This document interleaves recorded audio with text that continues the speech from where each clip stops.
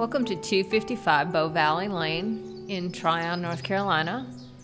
It's located in a real small subdivision and with um, large lots. This property is 2.97 acres. The main living area is all on one floor. There's a detached two car garage.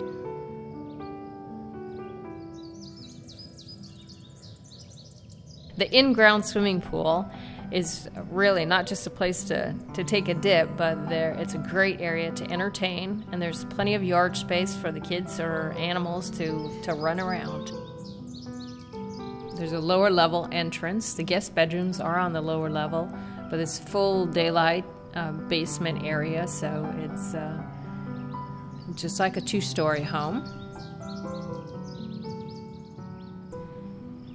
There's a nice deck and a screen room off the back, as well as a patio area with a hot tub. There's a creek that borders the back of the property. The entrance foyer has tile floors. It also has a half bath.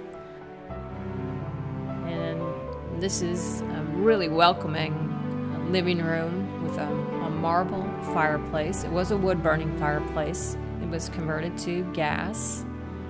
Just a very formal feel to it. A formal dining room that has uh, access to the deck, and you can see it's easy access to the living room and the kitchen. The screen room is uh, looks over the private backyard.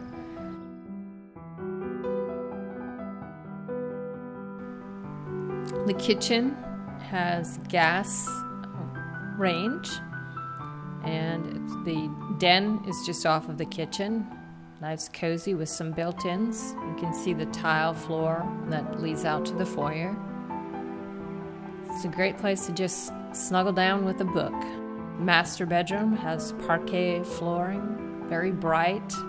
Has um, a couple of closets and an attached bath with a full shower and tub. This is one of the bedrooms on the lower level. Nice guest bedroom with an attached um, closet. The second guest bedroom is used as an office as well, and there's a full bath down there. Lots of storage area as well on the lower level, and the, there's a workshop and a greenhouse. And there's the resident squirrel and hummingbird. The property's been very well maintained, and in fact, the sellers have had a home a home inspection, and all the items said there've been just a few things, and they've been cleared up. And also, for your peace of mind, they are providing a home warranty.